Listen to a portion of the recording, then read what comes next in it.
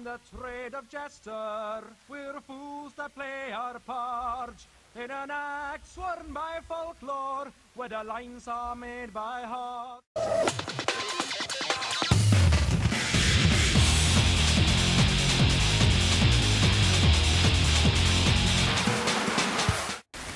Sziasztok! Üdv a Trubadurládában!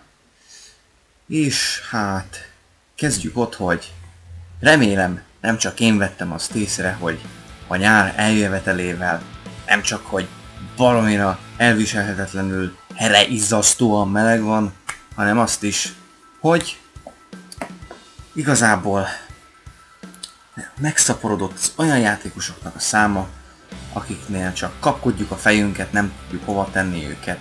Mit csinálnak ezek az emberek? Igen, mit csinálnak? Hát igazából jól, szinte semmit, úgyhogy éppen ezért gondoltam azt, hogy megcsinálom ezt a videót, amiben egy-két dolgot szeretnék tisztázni, hogy legalább az a 43, igen, jól hallottátok, 43 feliratkozó biztosan jól tudja, hogy mit kell csinálni, és ne legyen akkora sügér, mint a játékos közösségnek az összes többi része az EU szerveren. Úgyhogy igazából a legalapabb dolgokat fogom lefedni ebben a videóban. Még az is lehet, hogy így is tudok nektek újat mutatni, vagy mondani. Kezdjük ott, hogy a játék alapbeállításokon angolul van. Ha nem beszélsz angolul, akkor könyörgöm, állítsd át magyarra, nem azért, mert preferálom a magyar nyelvű játék fordítást, mert egyébként borzasztó, de valószínűleg többet meg fogsz belőle érteni, mint hogyha angol nyelven vagy más nyelven játszanád a játékot. Ahhoz, hogy ezt megted, nincs más dolgod, mint kilépni a játékból, én most nem fogok kilépni, és van ugye az indítója, ez a launchere a játéknak, ott van egy kicsi zászlóska, el sem tudod téveszteni, ha bár de, hogyha rövidlátó vagy, vagy egyébként rossz a szemed, valószínűleg el fogod téveszteni, de hogyha sokáig keresed, biztos meg fogod találni, van egy aprócska zászlócska ikon ebben a launcherben, és ott át lehet állítani a játék nyelvét, magyarra, illetve hát Google fordítóra inkább, leginkább. Tehát onnantól fogva, hogy a Assault Battle-t képesek voltak lefordítani csata ütközetre, nem lepődöm meg semmin, de mint mondtam, még így is valószínűleg jobban el fogtok tudni navigálni a játéknak a szak kifejezései között, mint hogyha az angollal próbálkoztok és nyálazzátok a szótárat 5 percenként. Ez lenne az első tanácsom nektek, azoknak, akik kicsit úgymond küzdködnek a játék mechanikájával, illetve hát a játék menettel leginkább.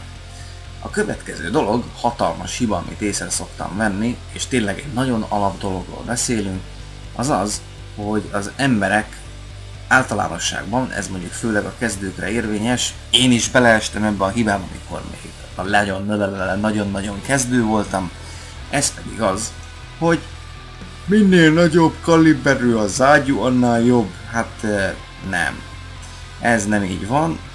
Hagy demonstráljam ezen a Somua SAU 40-es hányással egyenértékű tier 4-es francia páncélvadászon. Van egy pár ágyúja. Három darab van neki, nem sok, de úgy őszintén szólva kezdőjátékosoktól kérdezem, vajon melyiket szeretnétek rögtön egyből kifejleszteni? Hát persze, hogy a 100 mm-est. És miért? Hm? Na vajon miért? 410 sebzés, és mivel szemben a 110, illetve 110 sebzés ellenében, ja, tök jónak tűnik, nagyon szép, szépen mutat, na de nézzük meg egy kicsit közelebbről ezeket az ágyukat. Jó! Hát persze, hogy jó. Úgy sem tudtok más csinálni, mint hogy ha végignézitek a videót, akkor engedelmeskedtek és végignézitek ezt a részt. Tehát, lássuk csak. Kaliber 105 mm a 75 ellenében. Hú, hát igen, ez totál meggyőzőnek tűnik így elsőre, de persze, hogy nem az.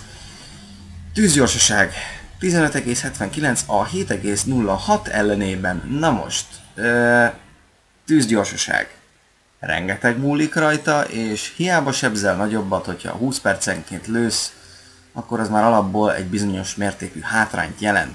Mondjuk ez a 7,06 nem olyan rossz, ezt bevallom, de még így is azért fele annyit tudsz lőni egy perc alatt, mint a 75 mm-es ágyúval, tehát ez már is rögtön egy szempont, ami alapján el kéne gondolkozni, hogy vajon melyiket válasszuk.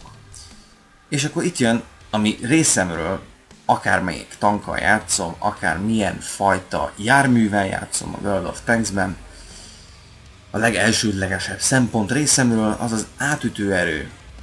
53 mm a 100 ellenében. Tehát nem csak, hogy fele annyit lövünk, de fele annyi az átütő erő is. E, igen, tehát részemről, ha egy picit is belegondolsz, akkor, akkor ez is meggyőző kell, hogy legyen. Mindjárt visszatérünk, hogy igazából ez az ágyú miért éri meg, hogyha megéri, de minden esetre most lépjünk tovább egyelőre. Sebzés 110 a 410 ellenében, tehát mondhatni egy durván, nagyon durván sarkítva négyszeres különbség van itt, tehát négyszer annyit sebez a 105 mm-es, mint a 110 mm-es. Igen. Papíron. Bizony. De a játékon belül nem. Nagyon-nagyon-nagyon ritka esetekben sebzelte ehhez bármennyire is közelít. Ez a 410, ezt úgy kell venni, hogy mondjuk úgy, hogy közvetlen közelről segbelősz valakit úgy, hogy tudod, hogy ott nincs páncélzata szinte semmilyen szinten. Ha ezt meg tudod csinálni, akkor igen, esetleg tudod sebezni ezt a 410 vagy a környékén.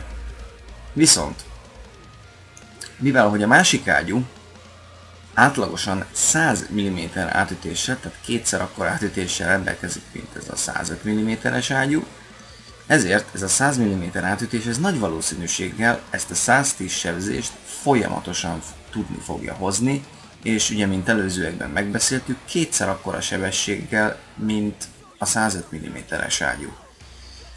Következő pont a célzóérték, vagy pontosság.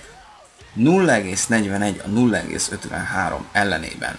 Na most, amikor ezt nézzük, ezt a célzást, akkor ugye ide le van írva, de azért én is elmondom, ez a szám, ez azt jelenti, hogy méterben mérve ennyi a szórása az ágyúnak 100 méterenként. Tehát 100 méter, méterig bezárólag valószínűleg a 75 mm-es ágyúval 0,41 méter, tehát 41 cm szórása van az ágyúnak ami 100 méteren mondhatni oké. Okay. Na de, hogyha megnézzük a másikat, az már azért 53 cm, tehát több mint fél métert fogsz tévedni 100 méterenként. Mit jelent ez? Ez azt jelenti, hogyha 200 méterre lősz, akkor az már a 105 mm-es ágyú esetében már egy méter eltérés. 300 méteren az már másfél méter eltérés. Marha nagy a szórása ezeknek az ágyuknak igazából, és ez a célzó érték, ez a pontossági érték, ez, ez borzasztó a 105 mm-es ágyon. Tehát 100-150 méteren túl igazából nem nagyon fogsz bármit is eltalálni, tehát nem ajánlom már csak ebből a szempontból sem. Ez a szám egy értelemszerűen minél kisebb, annál jobb. Célzási idő. Ez megint csak egy nem elhanyagolható szempont, ugyanis minél rövidebb, tehát minél kisebb ez a szám is, másodpercben van mérve, annál jobb. Tehát összességében nézve én mindenképpen a 75 mm-es ágyút választanám, a 105 mm-es ellenében ebben az esetben, ennél a Fostaligánál mindenképpen. Persze, a 105 mm-es ágyút is jól ki lehet használni, de a 105 mm-es ágyúval ahhoz, hogy te ekkorákat sebezzél, azért szükséged van némi rutinra, és legalább annyi szerencsére is. Úgyhogy maradjatok légy szíves azoknál az ágyuknál, amiknek magasabb az átütő ereje, jobb a célzó értéke, illetve jobb a célzási ideje, stb. stb. stb. A súlyt itt most igazából nem is venném igazán nagyon gyorcső alá, legyen elég annyi, hogy ugye minél kisebb a súlya az ágyúnak általában, annál könnyebben fog tudni mozogni a járművetek is. Tehát minél nehezebb, annál lassabb lombhába járművetek, lassabban gyorsul, lassabban tud forogni, stb. stb. stb. Na de igazából ennél a résznél ez most nem szempont, tehát ez, ez már igazából csak kukacoskodás. Következő dolog, amit szeretnék gyorsan elmondani, az a tankoknál, vagy akár minél, ugye a páncélzat. Ami a, ja nem is, bocsánat, egy picit ugorjunk vissza az előző témára, a lőszertípusok. Na ez az, ami még nálam kiszokta vágni a biztosítékot, biztosítékot, amikor látom, hogy egy tier 9-es, tier 9-es játékos HE, High Explosive, vagyis repesz, romboló, vagy tököm tudja, hogy van fordítva a Google fordítós magyar verziójában a játéknak. Ezzel, tehát High Explosive, vagy repesz, romboló lőszerrel lövöldöznek tier 9-es tankok, aminek miért nincs értelme? Azért, mert nullával egyen értékű átütőerőd van, lehet, hogy nagyobbat sebzel, de könyörgöm, nem fogsz átütni semmit. Tehát lásd, amit az előbb elmondtam. Mindenképpen, minden esetben AP, tehát armor piercing, illet, illetőleg e, mi ez, páncél, romboló, vagy mit tudom én, hogy hogy van fordítva, úgyis, hogy átállítjátok magyarra, látni fogjátok. Tehát a normál, normális lőszerrel lőjetek, ennek általánosságban a ár érték kategóriában a legjobb az átütő ereje, az átlagos lőszer, amit használni fogtok, és az átlagban is legjobb sebzésű ágyú, ágyú lőszer. Ami az aranylőszert illeti, igazából én szerintem, szerény véleményem szerint egy-két apró kivételtől eltekintve tier 9 fölött van kizáró, hát nagyon inkább tier 8 fölött van inkább értelme használni őket rendszeresen. Tier 7-en is néhány kivételtől eltekintve ajánlanám a használatát, nem ajánlanám a használatát, igen. Szépen beszélek, jó késő van már. Szóval, lényeg a mi lényeg, az aranylőszert leginkább tier 8 fölött ajánlanám. AP lőszert minden esetben ajánlom, HE pedig néhány kivételtől eltekintve, néhány, tehát jó, akkor most nézzük, miért van nálam ennél a előzőleg említett Fostaligánál 32 AP 3 darab ö, APCR, illetve 5 darab HL lövedékem. Nagyon egyszerű a magyarázat, AP-ból azért van ennyire sok, mert ezt használom. Olcsó, jó az átütő ereje, oké a sebzése, jó a DPS-e így az ágyúnak. APCR miért van három darab? Azért, hogyha valami olyannal találkozom, mondjuk egy 6-os járművel, amit még a 100 mm átütő erőm sem vinne át, akkor kényelmesen át tudjam lőni. Mert ugye hát a különbség az szemmel látható 100, illetve 129. Ez is nagyon fontos, hogy amikor az ágyút nézitek, akkor itt a lőszertípusok alapján van per jellel elválasztva ez a dolog. Az összes, ez mind a kettő kategória, tehát az átütőerő, illetve a sebzés. Mint láthatjátok, az AP-nak 100 mm az átütése, 110 a sebzése. Az APCR-nek, tehát az aranyért, vagy nagyon sok kreditért, mint itt látjuk, 2800 kreditért megvehető, itt 129 átütőerőről, 129 mm átütőerőről beszélünk, illetve ugyanúgy 110 sebzésről. Tehát vészhelyzetekben, illetve hát húzós szituációkban ajánlanám, ezért is van nekem is ilyen kevés, mert nagyon ritka, hogy használnám. Illetve a Repesz romboló HE lőszernek 38 mm, igazából szánalmas 38 mm átütő ereje van, és 175 mm-es, mm 175-ös sebzése, ami, hogyha engem kérdeztek, nem éri meg, kizárólag azért tartok 5 darab lőszert, ilyen lőszert ebben a tankban, illetve hát páncélvadászban, hogyha, és itt most jól figyeljetek, hogyha abban az esetben védek, hogyha védekezek, és foglalják a bázisomat, és mindenképpen szükségem van vagy modul, vagy minimális sebzésre, de mindenképpen szükségem van rá.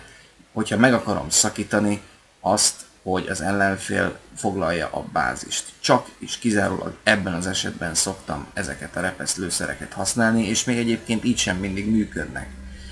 Mert hogy ö, azt hiszem jó régen, nagyon régen, jó sok pecsel ezelőtt úgy nézett ki a dolog, hogyha ezzel a H előszerrel lőttél rá bármire, akkor mindenképpen sebeztél, még ha csak egy pontot is, de sebeztél ami valami előnyös volt ezekben a szituációkban, lásd, ugye védekezés.